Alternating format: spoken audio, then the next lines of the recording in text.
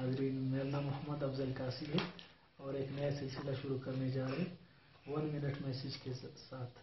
और अगर मालूम ज़्यादा हुई तो टू मिनट थ्री मिनट ये सिलसिला पाँच मिनट तक हम बढ़ाएँगे। आज मैं आपको पानी पीने के आदाब बताऊँगा कि पानी किस तरह पिया जाता है और आप सल्लल्लाहु अलैहि वसल्लम की उसमें क्या सुनते हैं।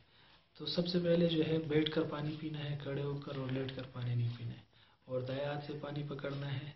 बिस्मिल्लाहिर्रहमानिर्रहीम पढ़ना है और पानी में देखना है कि उसमें कोई चीज़ ना हो।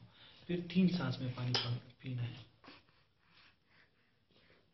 और पानी पीने के दौरान सांस जो है गिलास में नहीं लेना, बर्तन में नहीं लेना। उसको जो इस तरह करके फिर जो है पानी पीना है।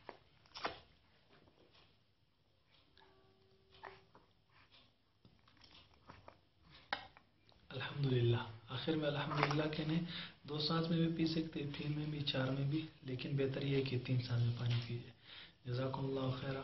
असल